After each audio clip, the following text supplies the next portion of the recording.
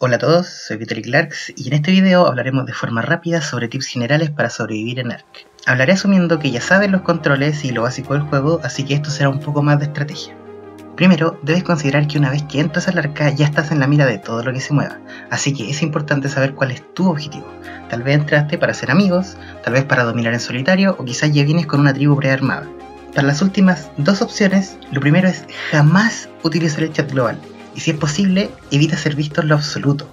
En el arca, la mejor arma de supervivencia es el anonimato y la furtividad, porque nadie te puede matar si no sabes dónde estás y menos si no sabes ni que existes. Así que, ahora, si tu intención era ser amigos, conversa, muestra tus habilidades y busca aliados con quienes puedas confiar y que sean un aporte para tus objetivos y no una carga. Segundo, una vez que ya hayas conseguido lo básico de supervivencia, como un piquito, un hacha y una lanza, es hora de buscar un punto de respawn desde donde empiece a avanzar. A esta fase yo le llamo armar un campamento. Aquí es donde debes cambiar tus primeros dinos y empezar a hacer narcóticos, flechas, bolas, ropa de cloth, etc. No te encariñes con este campamento porque lo más probable es que encuentres un lugar mejor y después lo vayas a destruir. Esta es la única construcción que debería hacer en la playa. Más que eso es un desperdicio. Construir en la playa es como la regla número uno. Nunca construya en la playa. Tercero, con el objetivo de mantener el anonimato, es prioritario que encuentres un lugar deshabitado y cubierto, donde sepas o creas que hay menos posibilidades de que gente pase por ahí o te descubra sin querer.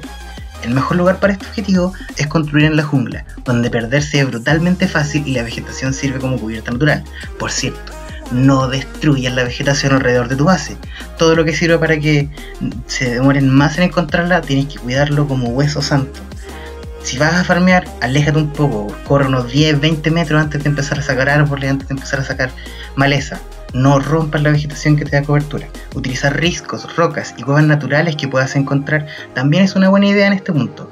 Todo lo posible para no ser encontrado y por supuesto algo de preferencia alejado de tu campamento porque si alguien lo ve va a buscar por los alrededores. Construye siempre con piedra porque romper la madera y el touch es muy fácil. Hazlo compacto. Aprovecha el 100% de los espacios trata de superponer ítems y, y, ser capaz de utilizarlos desde el primer piso, que no tengas que correr para todos lados para hacer cosas que puedes lograr solo moviendo el mouse. La idea es minimizar la posibilidad de ser encontrado y optimizar tu tiempo dentro de la base. Una vez tengas tu primer centro de operación instalado, te recomiendo destruir toda evidencia de que alguna vez apareciste en el server. Destruir el campamento es una muy buena opción en este punto. La idea es estar oculto y no necesitar defensa inmediatamente. Pero si tienes los recursos, deberías considerar poner algunas plantas X o un par de torretas si un server más rápido para poder dormir un poco más tranquilo en la vida. Cuarto, mantén tu cantidad de dinos limitada a su utilidad y necesidad. No pierdas el tiempo tameando dinos que morirán inmediatamente o que no tendrán ningún uso inmediato. El principio del juego es absolutamente sobre velocidad en asentarte. Esto te va a permitir avanzar en tus objetivos y sobrevivir como para poder apuntar a algo más grande. Protege tus dinos, usa espinas o mételos dentro de estructuras. Trata siempre de mantener la simplicidad y la furtividad.